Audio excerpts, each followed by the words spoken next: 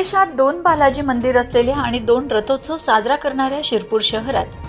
मानाचा आणि श्रद्धेचा वरचेगाव येथील श्री व्यंकटेश बालाजी संस्थांच्या बालाजी रथोत्सवाला गुरुवारी सकाळी शिंदखेडा येथील विद्या वाचस्पी हरिभक्तपरायण मेघश्याम महाराज बुवा यांच्या हस्ते आमदार काशीराम दादा पावरा जिल्हा परिषदेचे उपाध्यक्ष देवेंद्र पाटील दिवाणी न्यायाधीश आर आर भद्रे उपविभागीय अधिकारी प्रमोद भांबरे तहसीलदार महेंद्र माळी पोलीस निरीक्षक अंसाराम आगरकर प्रभाकरराव चव्हाण आदी मान्यवरांच्या उपस्थितीत विधिवत पूजन करून रथोत्सवाला प्रारंभ करण्यात आला.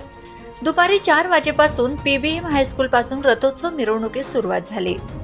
शिरपूर येथील वरचे गावाच्या श्री व्यंकटेश बालाजी रथोत्सवाला एकशे अठ्ठेचाळीस वर्षांची परंपरा लाभली असून अश्विन शुद्ध द्वादशीला दरवर्षी रथोत्सव साजरा करण्यात येतो.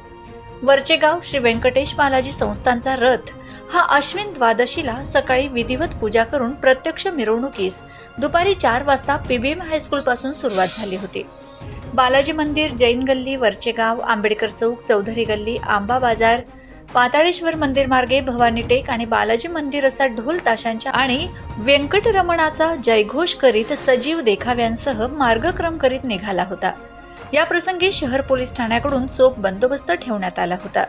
रथोत्सवाचे प्रमुख वैशिष्ट्य म्हणजे गंधर्व ढोल ताशा पथक सर्व शिरपूर तालुका वासियांचे लक्ष वेधून घेत होते. तर चांद्रयान बजरंगबली शिवशंकर पार्वती आदी सजीव देखावे सर्वांचे लक्ष वेधून घेत होते. माझा खानदेश न्यूज ब्युरो शिरपूर.